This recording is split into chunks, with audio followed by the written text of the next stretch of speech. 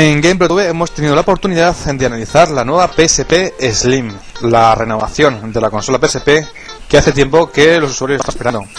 Pues aquí lo tenéis, esta es la nueva versión y cuya principal novedad es este puerto de audio y vídeo que pueda conectarse a una televisión.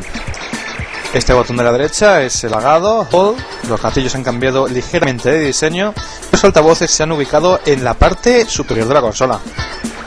Arriba podéis ver el conector eh, Wi-Fi que podemos apagarlo o encenderlo.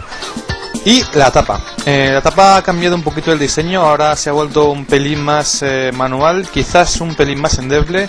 Hay que tener bastante cuidado para, el uso, no dañarla.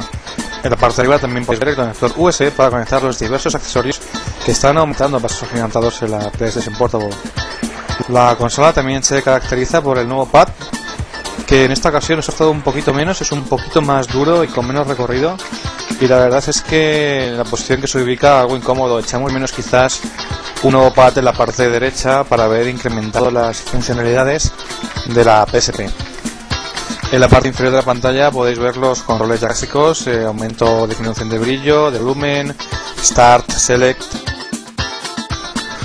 los menús internos de la consola eh, no han cambiado mucho. Tienen las opciones que se refieren a las nuevas funcionalidades de la consola. Por ejemplo, la salida de vídeo incluye la función de formato 16943, eh, la posibilidad de conectarlo a un televisor de formato progresivo o entrelazado. Es destacable también de, de PSP la función de eh, grabación en el caché. ¿Qué quiere decir esto? Es muy sencillo. El anterior PSP eh, recibió muchas críticas por lo que tardaba los videojuegos en cargar. En esta ocasión, Sony ha, ha reducido el tiempo de carga mediante el almacenamiento de datos en el caché la PSP Slim. Eh, esto em, no reduce el tiempo de carga la primera vez que juegas, porque todo es nueva consola y tienes que aún que grabarlo en la caché. Pero según vas jugando y vas actualizando la partida, jugando en nuevas pantallas, te vas dando cuenta que los tiempos de carga se reducen mucho más.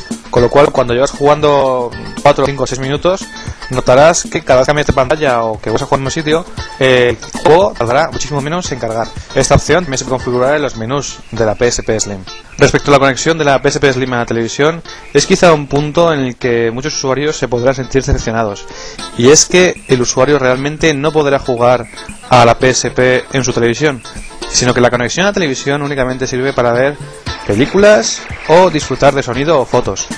Eh, si intentas jugar un videojuego en, la televisión, te aparecerá un mensaje como este que te indicará que solo será posible con distintos tipos de cable.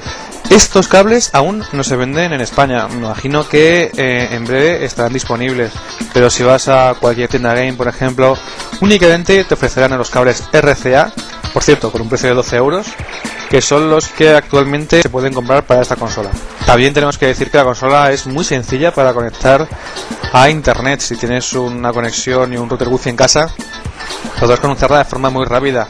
Por supuesto, podrás ver GamePro TV, pero eh, no podrás ejecutar sus vídeos, ya que utilizamos eh, Windows Media Video y la PSP tiene sus formatos tan particulares, ya los conocéis. Las páginas que mejor se ven en la PSP son las que están especialmente eh, realizadas para ella como la página oficial de, Sony. Funciona muy bien, la verdad es que funciona muy rápidamente y la conexión a internet de la consola es muy muy muy efectiva. En definitiva, la, PSP eh, destaca por tres cosas. Primero porque tiene un, menor peso, un menor tamaño, es, es mucho mejor para, para cogerla, para disfrutar con ella. Es una consola mucho más cool, se podría definir. La duración de las baterías, las baterías duran unas dos horas y media en cargarse y se descargan en unas cuatro horas. La verdad es que son buenos tiempos, nos, nos gustó, nos pareció suficiente. Los juegos también tienen una pinta estupenda en la, en la PSP Slim, aunque bueno, tan buena como en la, la, anterior PSP. Y en cuanto a los puntos negativos, echamos de menos lo que le falta a la consola, quizá un nuevo pad, quizá la posibilidad desde el principio de poder jugar en televisión, y también eh, pues algo más de memoria flash en la consola quizá para no tener que comprar una memory stick duo aparte para poder grabar las partidas.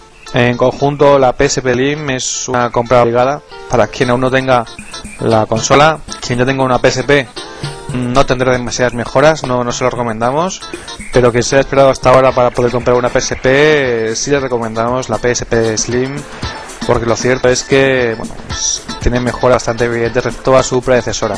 En conclusión, la nota que obtiene la consola en GamePro TV es de un 8,5 y bueno, esperamos que Sony siga haciéndolo bien y continúe sacando quizá nuevas versiones de la PSP con mejoras e incluso, quién sabe, la PSP 2 algún día. Hasta entonces, nos vemos aquí, en GamePro TV.